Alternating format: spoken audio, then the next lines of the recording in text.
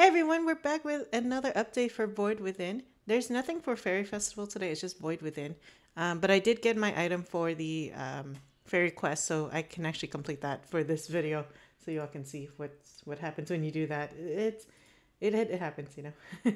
Anyways, let's go ahead, let's see what happens. Chapter 5, Escape the Gray. So the gray is like washing over them. is it like melting her into the ground? That's crazy. Anyway, here we see um, Lumina, like, you know, rescuing her. I guess even she's affected, even though she's the gray fairy somehow. I guess. Gray tsunami coin. Alright, cool. And yeah, it's like, I, I guess, yeah. Does that mean Lumina is somewhat? I don't know if she's immune or if it's like she's just muscling it. She's probably just muscling it, but we'll see what happens with that. Uh, but it's interesting. She actually does get affected by the gray. even though she's the gray fairy. She's like gray is like her thing, I guess, but not quite. she still can get affected by it. Let's go ahead and do all this. If you notice, I did get some new pets. I did. Because um, I finally got the mutant Acara I really wanted. I've been wanting it for a long time now. But it's one of the harder mutants to get just because it's very popular. Hey. There we go. I guess the last thing I'm waiting for is the unconverted uh, Halloween, unconverted Halloween to come out, and then see if they're gonna release a new color. I'm still hoping for a void color, just because, like, they keep kind of, like, not pushing it, but they keep hinting towards one, you know. Okay, let's go ahead and do our daily void maps. Plus, I don't think it would be that hard of a color to implement. I really don't think so you know, because it's not like this color is. Um...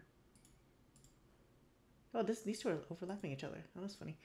Yeah, it's not like they they're gonna change the the sprite too much, you know, like compared to something like Halloween or Mutant, where they really dramatically change the silhouette of the Neopet.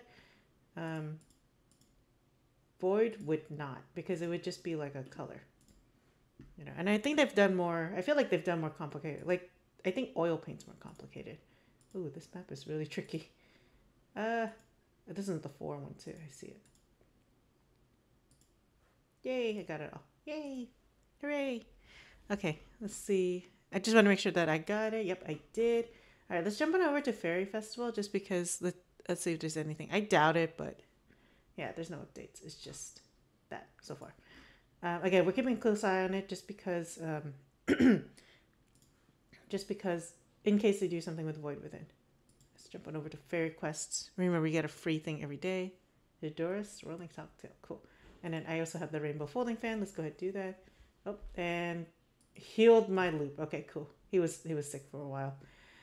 All right, but let's go ahead. I'm just gonna grab another fairy quest to see what I get. Click, receive. What do I get? Oh, what the? I got library fairy again. Okay, cool.